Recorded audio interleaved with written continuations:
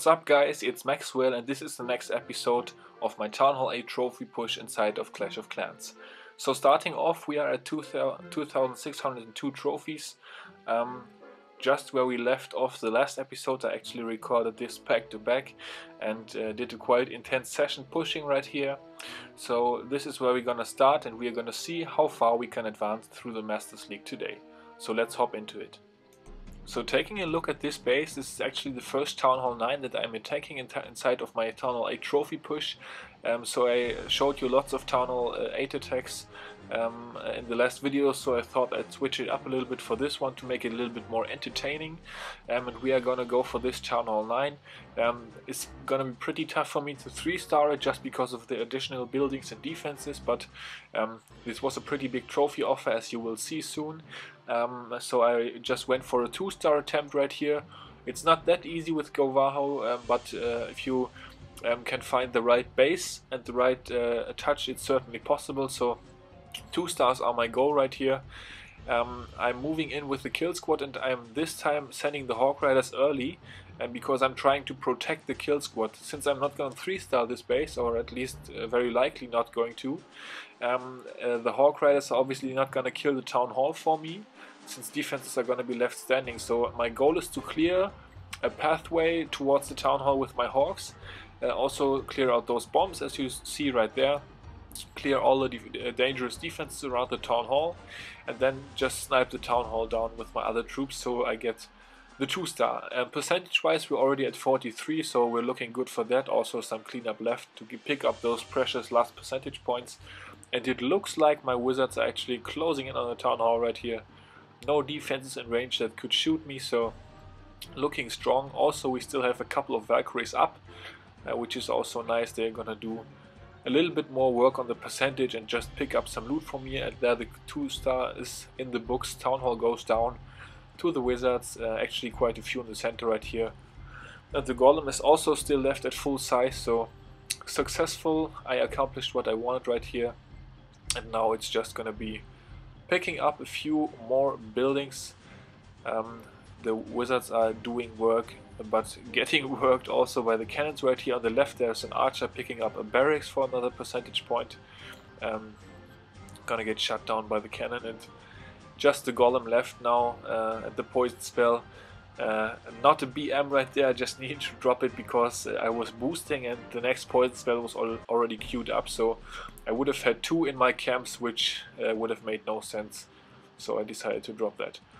And next up, looks like we found a dead Town Hall 10. This is also gonna be a 2-star attempt, also not 3-starable for me because of high hero levels that he has and um, also, uh, of, of course, the high level defenses. So, gonna see a similar strategy right here. The Hawk Riders are gonna clear all defenses on the right side. And uh, I'm trying to work my Wizards and Valkyries towards the core to get the Town Hall. Also, I obviously attacked this one for the huge loot. Um, it's always nice to fill up a little bit of Dark Elixir and get some good gold. So that's what I also had in mind by attacking this one. It also was a pretty nice trophy offer. So um, definitely doable um, to go for this base. Notice I saved my last heal spell for the wizards this time since they are getting wrecked by the wizard tower. Luckily it doesn't one-shot them, it would two-shot them so I'm using the heal spell so I get the town hall down. And now I'm just sprinkling my remaining troops around the base to pick up the rest of the percentage and a few more um, collectors also to gain a little bit of loot. 4000 dark elixir right here so um, a very very nice steal on this one. Um, I'm happy with that. And now my troops are just gonna have a little bit of fun with those uh, last collectors around the base that are free. Some archers, some wizards left taking care of those. Actually I'm gonna snipe off a gold mine at the bottom left here since the cannon is still focused towards the center on the golem. That's gonna work also pretty good uh, before the king, uh, before the golem dies and the queen snipes down my troops and also um, the cannon is, had turned around and took care of some there and yeah an archer working on an elixir um, collector right here to finish the raid off I'm not sure why I waited that long because I was kept out on elixir anyways but yeah about 400,000 uh, gold on this raid um, and, uh, with the league bonus of course and about uh, 4,400 dark elixir so Very, very nice one.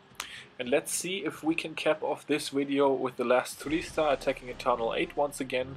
looks like we have found another maxed one. Everything maxed except a few purple walls that he has left around the bottom here. Um, this time no clan castle lure, we're gonna move straight in right here. Um, uh, and use golems, valkyries and wizards to break into the base. The enemy king is gonna get lured and he is gonna die immediately once the valkyries and wizards touch him and then the hawks are coming in towards the left side. Once again a very compact base, no double giant bomb spot so nothing much to worry.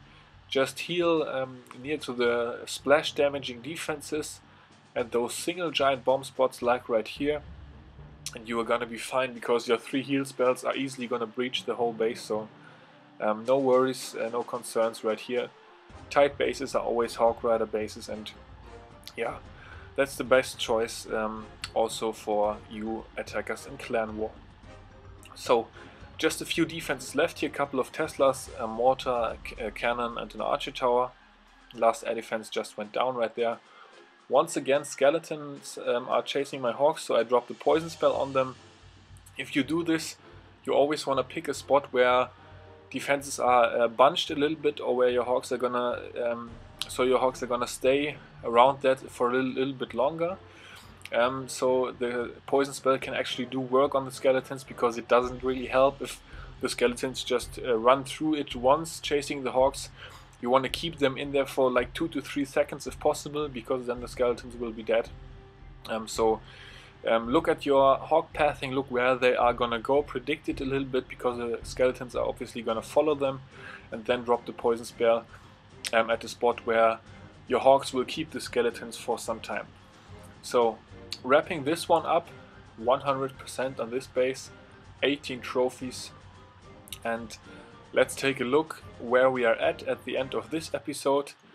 Looks like we gained another 120 trophies, made it all the way up to 2722, another personal best for me. You notice my base is also coming around a little bit. I'm spending all my gold on the walls and upgrading a few defenses now.